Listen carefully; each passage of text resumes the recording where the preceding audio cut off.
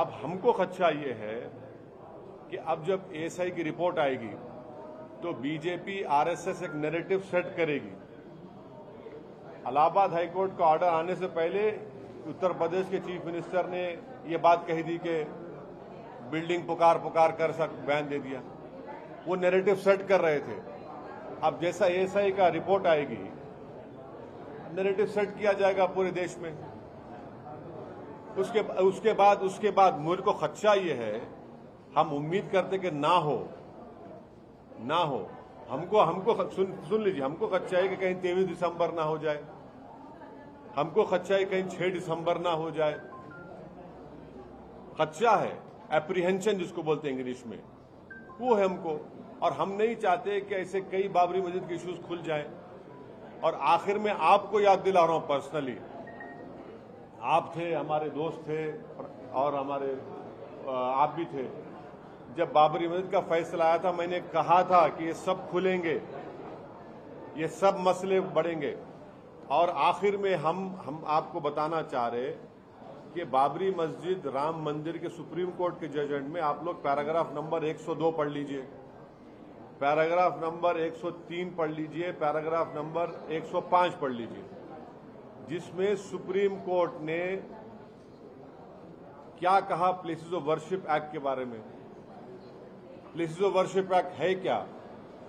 कि किसी भी समुदाय के रिलीजियस प्लेस का रिलीजियस कैरेक्टर ना बदला जाए। अब ये जो सर्वे होगा, इससे उस मस्जिद का रिलीजियस कैरेक्टर बरकरार रहेगा या बदल दिया जाएगा? जो योगी आदित्यनाथ ने कहा वो बात, वो कि रिलीजियस कैरेक्टर को रखने की बात थी या मस्जिद में से नमाज़ खत्म करने की बात उन्होंने की। देखिए, दूध के जले छाछ को भी फूक फूक कर पियेंगे ना। तेईस दिसंबर 1949 को हुआ फैक्ट है, कोई डिनाई नहीं कर सकता। 86 को हुआ, कोई डिनाई नहीं कर सकता, ताले खोले गए। 6 दिसंबर 1992 हुआ, जिसको सुप्रीम कोर्ट ने कह दिया, उसको एग्रीग्रियस कहा उन्हें अंग्रेज़ी का वर्ड इस्तेमाल किया। डेमोलिशन को एग्रीग्रियस का सुप्रीम कोर्ट ने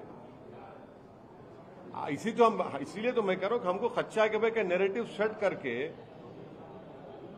आप तेईस दिसंबर ना कर दे आप छह दिसंबर ना कर दें तो आप कहना ये चाह रहे हैं कि संवैधानिक संस्थाओं नहीं नहीं नहीं नहीं नहीं नहीं नहीं नहीं नहीं नहीं नहीं बिल्कुल बिल्कुल नहीं मैं वो नहीं कह रहा हूँ मैं तो बराबर एक उनको उन, सुप्रीम कोर्ट की हो लोअर कोर्ट हो डिस्ट्रिक्ट कोर्ट हो हम इज़्ज़त करते हैं उनको मानना पड़ेगा हमको मैं आपको सिर्फ़ तारीख में क्या हुआ था वो आपको बता रहा हूँ। और हम भी नहीं चाहते कि ऐसा बाबरी मस्जिद इशू खुल जाए।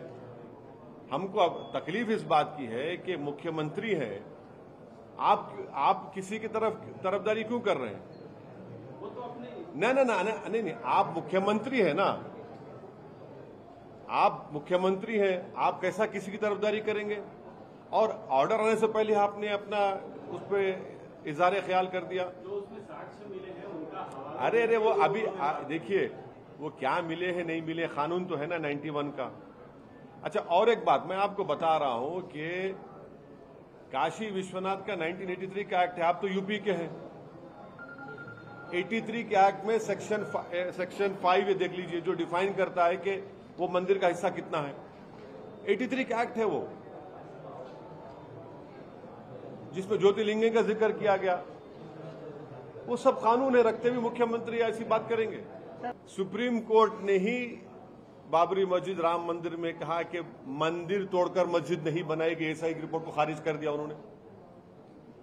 उस केस में वही तो आपको बता रहे हैं। उसी केस में सुप्रीम कोर्ट ने एएसआई को माना ही नहीं, खारिज कर दिया उसको। ये तो सारी दुनिया में बाजा बजाए थे, बीजेपी वाले, आरएसएस वाले। उन्होंने कहा, खारिज कर दिया। कि मंदिर तोड़कर मस्जिद बनाएगी। ये इस पर दिया कि बिलीफ है कि वहाँ पर पैदा हुए थे, इसलिए सुप्रीम कोर्ट ने फैसला दे दिया। मगर मंदिर तोड़ने की बात तो खारिज ही कर दी सुप्रीम कोर्ट ने। मस्जिद तोड़ने को सुप्रीम कोर्ट ने कहा एग्रीगियस एक्ट कहा उसको क्रिमिनल एक्ट कहा उसको, और एसआई की रिपोर्ट को बारूद कर दिया उन्होंने।